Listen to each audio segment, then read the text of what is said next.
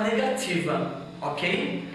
I am not, ok? You are not. Ou então, you aren't. He is not. Ou então, he isn't. She is not. Ou então, she isn't. It is not. It isn't. We are not. We aren't. You are not. You aren't.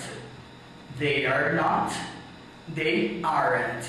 Então, nós podemos, para transformar o verbo to be no negativo, nós vamos pôr o not depois do verbo, ok? E eu posso contrair o is com o not, vai ficar isn't.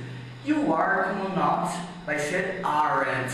E o am, o am eu não posso contrair am com not, então vai ser sempre I'm not. Muito bem, então vamos montar frases com o verbo to be no negativo.